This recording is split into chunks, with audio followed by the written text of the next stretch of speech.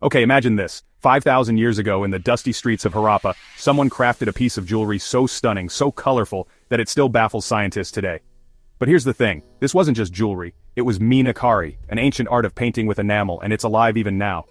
How? That's the mystery we're diving into today, so picture this. Persian invaders came to India, saw this incredible art and thought, we need this. They took the technique, refined it, and called it their own. But guess what? The original magic? It stayed right here in India. The colors of Meenakari don't fade. They don't dull. They're as vibrant today as they were thousands of years ago. How is that even possible? Here's the secret, it's not just paint. It's liquid glass mixed with metals, heated to 750 degrees Celsius, and fused onto gold or silver. The blues? That's cobalt. The greens? Copper. And the reds? Pure gold. This isn't just art, it's science, perfected centuries before the world even knew what chemistry was. But wait, there's more. The oldest enamel artifacts ever found, they're not from Persia or Europe, they're from Harappa.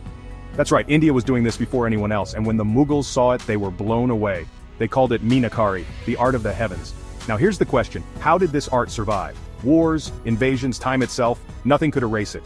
The answer, it's not just about the technique, it's about the people who kept it alive, generation after generation. So, next time you see a piece of Meenakari, remember this?